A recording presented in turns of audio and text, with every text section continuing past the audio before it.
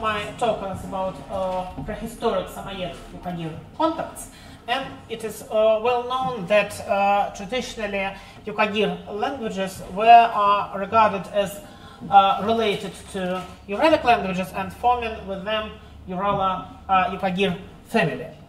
The opposite view is that lexical parallels between Uralic and Yukagir languages are due to borrowings mainly from Samoyed into Yukagir. And the uh, uh, genetic relationship uh, position is represented uh, now by Irina uh, Nikolaeva, who is the author of the monumental uh, historical dictionary of Yukagir and proto-Yukagir reconstruction. And the contact position is represented inter alia by Ante Aikio, who uh, five years ago published uh, uh, a paper about uh, Samoyed borrowings into Yukagir. and in my view, the most convincing argument in favor of um, the contact scenario is the fact that uh, vowels in Yukagir uh, words having Samoyed uh, parallels show results of specifically Samoyed splits and mergers. So uh, Samoyed uh, phonetic uh, innovations with respect to Proto-Uralic are reflected in words uh, that uh, uh, are present in Yukagir. So we see that, for example, for example, Proto-Uralic A can yield Proto-Samoyed A or Proto-Samoyed labialized vowel O under different conditions, and when Samoyed has A, uh, Yukagir in the same word uh, words has a, and when Samoyed has a low labialized vowel, uh, Yukagir has labialized vowel o. And uh, for example, uh, Proto-Uralic u uh, under different uh, conditions yields in Proto-Samoyed either u or uh, shva. Uh, and uh, Proto-Samoyed U is uh, corresponds to Proto-Yukagir O, uh, which is uh, expected because uh, while U is uh, reconstructed for Proto-Yukagir, uh, U is a harmonically front vowel in Yukagir, and possibly it was a phonetically front vowel too, so it is obvious that foreign U will be replaced by the back vowel or rather that by uh, u that is uh, that was actually u. Uh, so uh, when uh, we have u in Samoyed, we have o in Proto-Yukagir, and we have when we have shwa from Proto-Uralic u, we have Proto-Yukagir a, and uh, it is known that uh, Samoyed had, had actually two shwa phonemes, a front and a back one, but they uh, are distinct morphophonologically, but uh, uh, yield the same reflexes in uh, daughter Samoyed languages, and they have the same correspondence in Proto-Yukagir. so when we have Proto-Samoyed schwa, no matter back or front, it is replaced in Yukagir by a. Uh, to me, this uh, picture clearly shows that uh, we deal with borrowings from uh, Samoyed and not with uh, the uh, genetic relationship uh, between Uralic and Yukagir. But, uh, uh, so we have some examples of these correspondences. They can be also, you can also look at the whole list in the Aikio paper I refer to. So we see that when Samoyed has A, Yukagir has A, and when Samoyed has O, Yukagir has O. And the same with the vowel U, and uh, with uh, the case when uh, has front schwa from some front vowel, perhaps E, uh, that is also uh, replaced in Yukagir by A. Uh, but uh, there is uh, mm, some somewhat paradoxical situation uh, uh, that was uh, commented on by Aikio when he wrote that it must be admitted, however, that the high proportion of basic vocabulary items remains a puzzling feature of the corpus of potential Samoyed loanwords in Yukagir.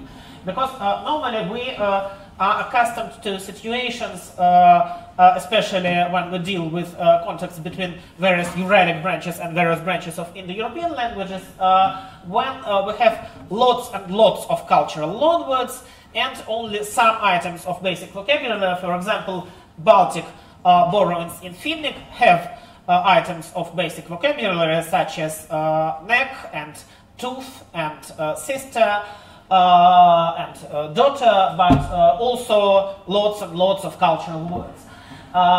here, the situation is different. We have some cultural words, some kind of net, and so on, but uh, most of these words are uh, really basic vocabulary. So, is, uh, is there really a paradox here? actually, basic vocabulary is not homogeneous.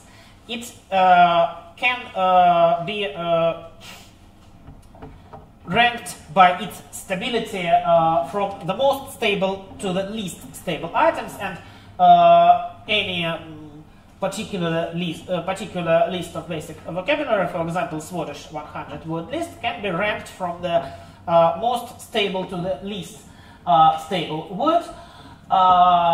and we can expect, uh, can expect that uh, when we deal with uh, genetically related languages, uh, the more stable half of the list will show more matches than the, least, uh, the less stable half.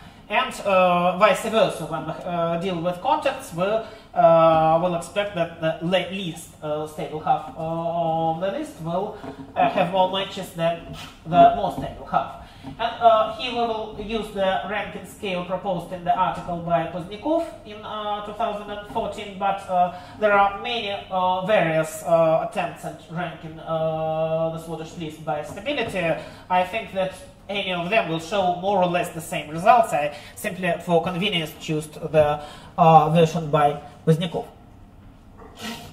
And I can demonstrate the, how genetic relationship, uh, more or less distant, uh, looks like in the basic vocabulary. Here we have matches between Hittite and Albanian, two uh, distantly related Indo-European languages. We have 14 matches in the uh, more stable half of the list. Here, uh, ranks of the words are represented by superscript uh, numbers from 1, the most stable item, to 100, the least stable item. Uh, so we have 14 matches uh, in the more stable half of the list and only three matches in the less stable half of the list and even they are ranked 52, 54, 50, uh, 55 but not uh, lower. Uh, another example is uh, Tundra Nenets and Hungarian also uncontroversially related languages and here we have also 14 matches in the more stable half of the list and 6 matches in the less stable half. Uh, so uh, uh, what is important is not the absolute numbers. Uh, if the languages are related more closely, uh, absolute numbers will be uh, greater and vice versa, but the proportion, the more stable half contains has a, a higher percentage of uh, matches than the less stable half if we deal with genetic relationship. So let's look at uh, Uralo uh, Yukagir parallels. I speak of Uralo Yukagir uh, instead of Samoyed Yukagir because uh, actually uh, uh, a number of words represented in Yukagir are absent from Samoyed apparently they were lost, and uh, sometimes, sometimes they show clearly Samoyed phonetic uh, results of clearly Samoyed phonetic processes, but the uh, lexical items themselves were lost from Samoyed, so I will compare uh, Yukagir uh, directly with Uralic. Uh, if we take uh, comparisons accepted by Ante Aikio in his paper, uh, as Samoyed, pre-Samoyed borrowings into Yukagir, uh, we have one match in the more stable half of the list, uh, that is name, and six matches in the less stable half of the list, and we see the ranking 62, uh, root 62, mouth 63, breast 64, man 84, say 85, and cold 94. So they even in the uh, less stable half, there are more uh, words that are uh, uh, closer to the bottom of the uh, ranked Swadesh list. but I think that Aikio missed some uh, uh parallels or uh, rejected uh, uh them uh, without, in my view, sufficient grounds. So we must add some words. here are the matches that I took off, name, name and proto Yukagir nim, Vancha root and watch root, Anna mouth and Anna mouth, Melky breast and Mel breast Samoyed lost this word, and Koi male also not preserved in Samoyed. Okay, boy, male, uh, and uh, so on. Uh, but uh, uh, at least three words from the Swadesh list must be added because uh, I have for some reason rejected them, but, but I think he was wrong. for example, the word for bug uh, it also means skin, but as skin, it is not the main word for skin in uh, Uralic or uh, but as bug, it is main word for bug in Finnic and uh, the main word for bug in Yukagir. Uh, it is kari uh, proto-Samoyed kar, skin under the hair uh, surface, and uh, proto-Yukagir kar, skin bar. This is a relatively straightforward uh, parallel. and one more parallel uh, that must be added is the word for knee.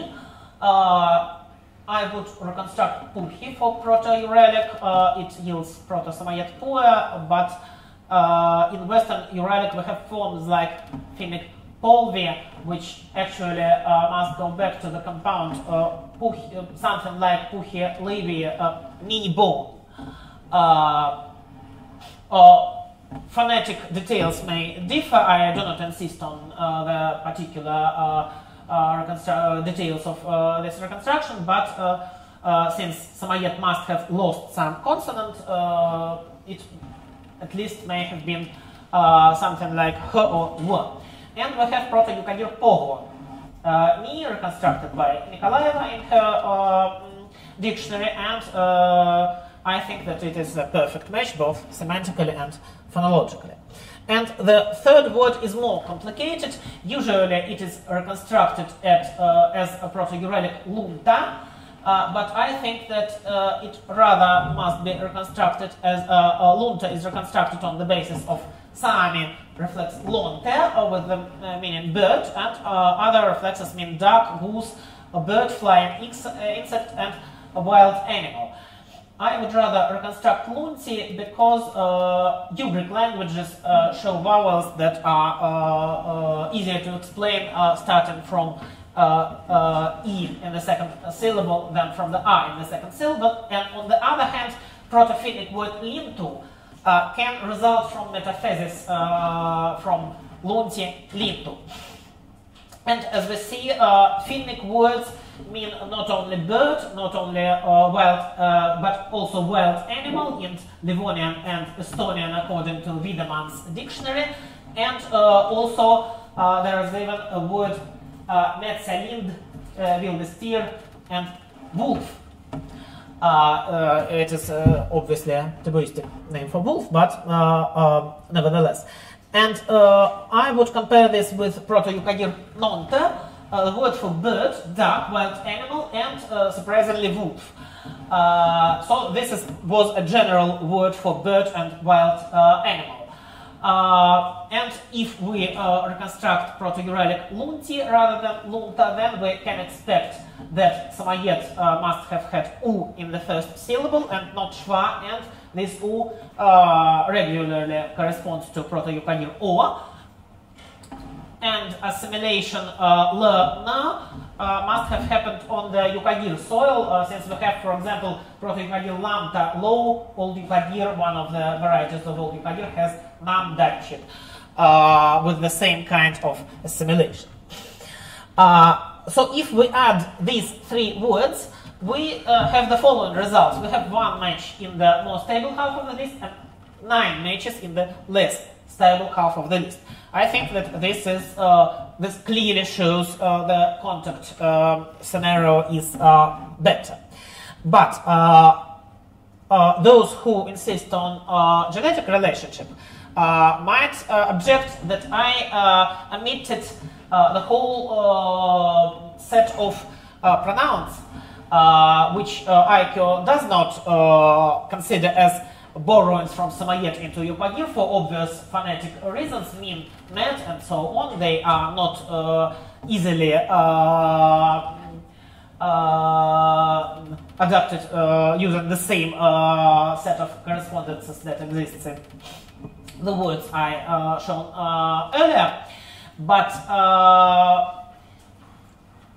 these are interesting but not exclusive uh, matches. They are found in many, many other languages of Eurasia, so whether they represent some super deep genetic relationship or equally super deep contacts, they are not, uh, cannot be used for the uh, proof of Uralo-Yukagir genetic specific relationship.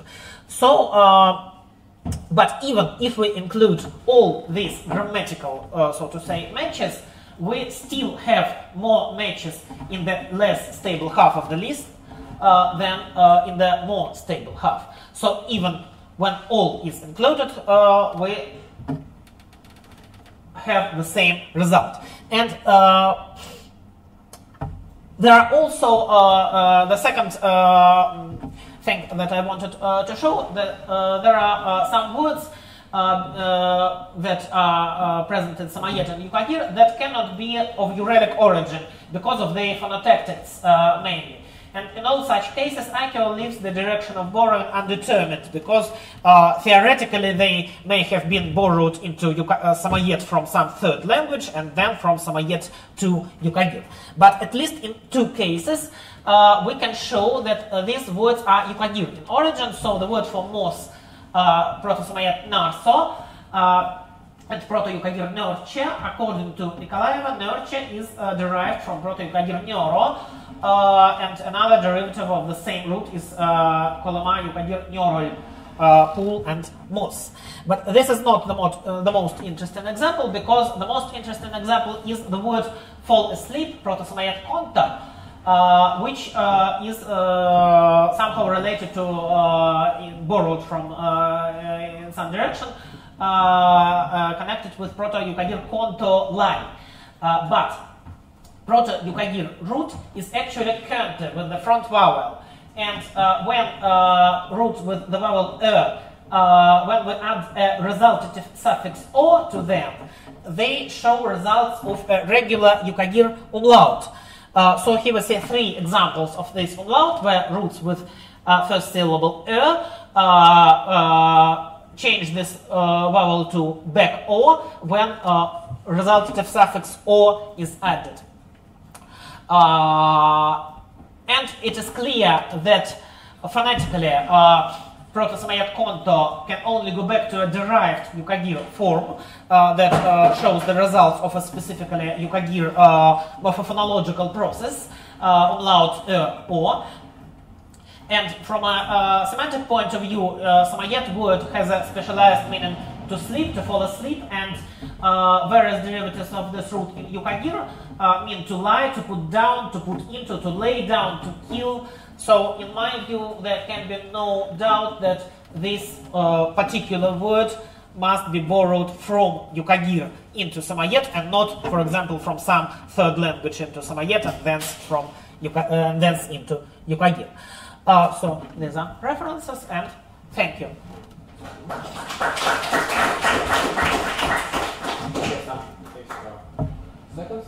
Uh, so if you have some questions. No. More questions?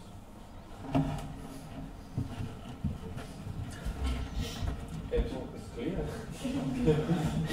I have to say, in general, I don't believe in these comparisons. I think we are just as uh, unlikely as where the comparisons between, uh, or on the basis of a relationship assumption.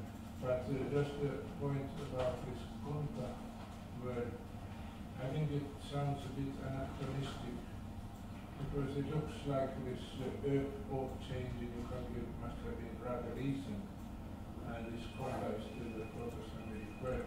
So I think it's somehow unlikely that uh, it could have borrowed into Proto-Samoyedic with the recent Yukagir localism.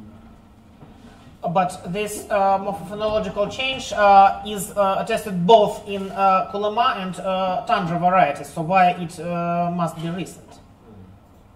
Uh, but they are still, well, it's difficult to compare the, the chronology of Proto-Samoyedic and Proto-Yukagir, but I, I would find that Proto-Yukagir is later than Proto-Samoyedic, and and at least uh, Proto-Yukagir was spoken already somewhere further to the east. I also think that the status of this vowel F in Yukagir is a bit unclear, because it's in the system of vowels, it looks like a problem, so maybe, maybe somebody should work further on the system of vowels, and how, how to reconstruct this, the position and the phonetic value of this vowel which we normally write as J, but was it really a front vowel, I mean, uh, At least is uh, it uh, affects uh, velars as a front vowel. So we have k uh, velar, but not k uvular uh, before this vowel. And I would like to add that uh, lexical distance between Tundra and Kolyma uh, Yukagir languages is approximately, if we count word from the Swadesh list, is approximately the same as between Russian and Latvian. So they are more distant than any two Samoyedic languages. So I think that uh, despite uh, uh, uh, large uh, similarity in morphology and phonology, uh, Proto-Yukagir uh, may be actually older than Proto-Samoyed.